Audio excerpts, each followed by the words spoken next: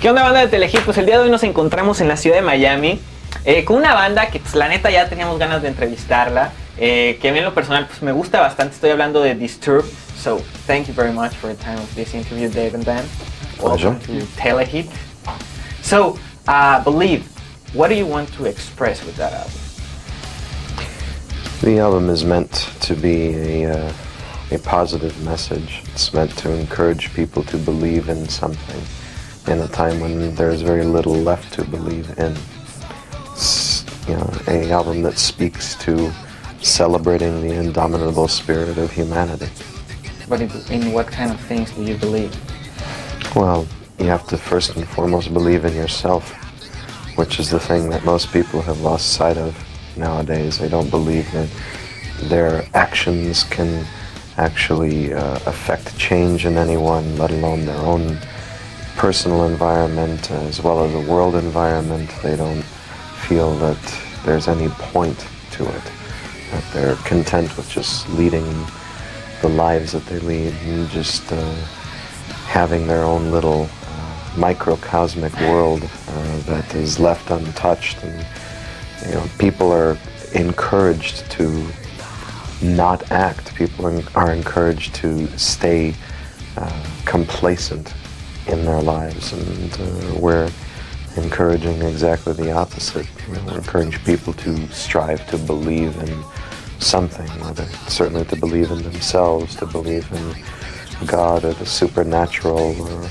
Mother Nature or whatever you call it, to believe that there could potentially be something waiting for you in a dark room when you enter. Believe.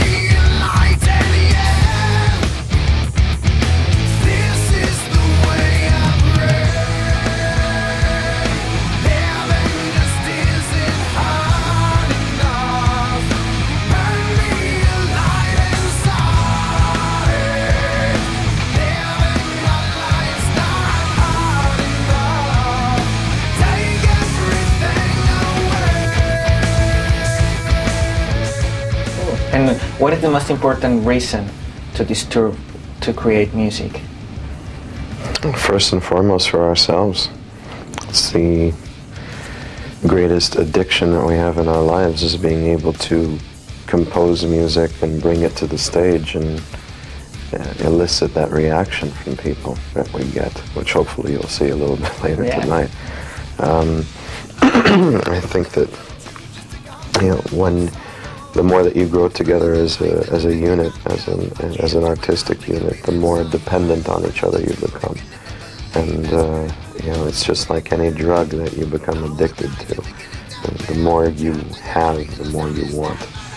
And, uh, you know, our hunger cer- certainly hasn't been satiated yet. But do you think that right now in the music industry, can you be independent?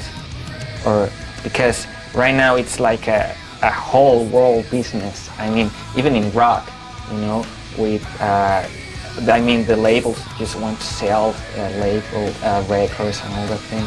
Can you just be independent? Is that a possibility? I think that it, it depends on how you're number one uh, defining independence. Uh, you need to, no matter what you do in life, if you believe in what you do, particularly if you're an artist, and if you believe that the art that you've created is something that is worthwhile and beautiful, then you want to share it with as many people as possible.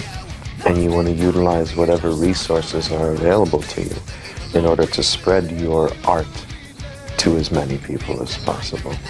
So you, if you do not take advantage of everything that's uh, afforded to you, whether it's assistance by a record label or other media entities, uh, you know, too much independence to the point where you cut off everything else and where you leave yourself no assistance is stifling.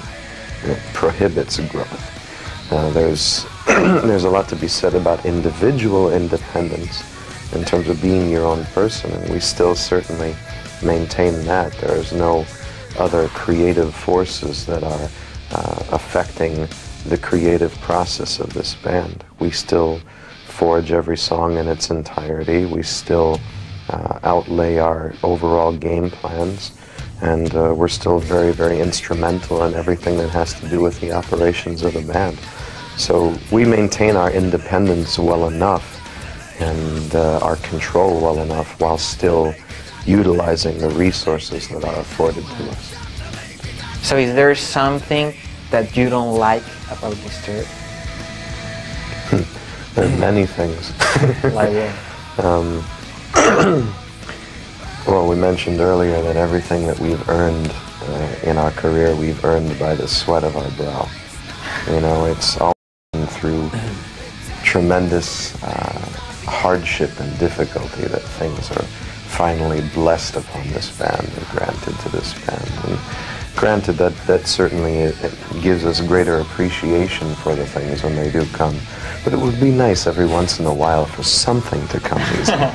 you know, for um, to have accomplished the level of uh, success that we have and to go on your basic city street anywhere in America, and if you ask your average person if they've heard of the band, forget about whether or not they know what we look like. But if you ask them if they've heard of the band, nine out of ten probably haven't. And uh, there's a missing element there. or even if you sell two, three million records on your first, you know, on your debut album, um, and you come back and you debut in the States again with the number one selling record in the country, uh, still people may not have heard of you. And um, it, it's a little aggravating, you know, considering as much as we do and as much of ourselves as we put into it, and as as proud as we are of what we've created, we want people to have an awareness of it. We want there to be uh, a presence of the band. It should be a, a, household name at some point. We want to make this as great as it could potentially become. Yeah, that's certainly one of the things that I would change. Um, but as far as the band in and of itself, as far as you know, our interaction and the way that we create and anything, there's nothing that I would change.